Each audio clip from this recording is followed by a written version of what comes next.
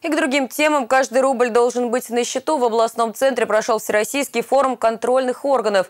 Для обмена опытом и совершенствования инструментов воздействия в Самару приехали представители службы госфинконтроля из 40 регионов страны.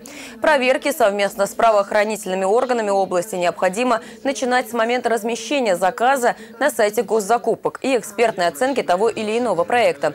Участники форума отметили, такую работу необходимо выстраивать более эффективно в связи со сложившейся стране экономической ситуации. Такую задачу поставил президент страны. При этом необходимо разработать более совершенно, совершенную нормативно-правовую базу, чтобы усилить финансовую дисциплину.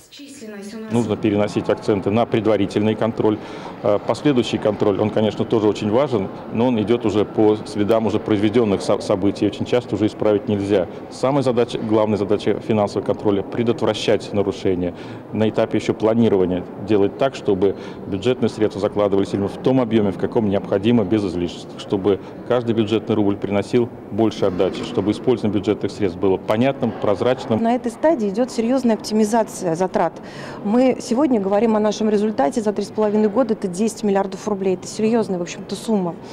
Вот. Что мы можем еще говорить? Что нам предварительный контроль позволяет, скажем так, расставлять болевые точки. По сути, формируется история болезни, где написано, что, как было нехорошо, все наши рекомендации.